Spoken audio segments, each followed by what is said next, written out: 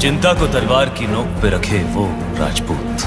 रेत की नाव लेकर समंदर से शर्त लगाए वो राजपूत। और जिसका सर कटे, फिर भी धड़ दुश्मन से लड़ता रहे वो राजपूत।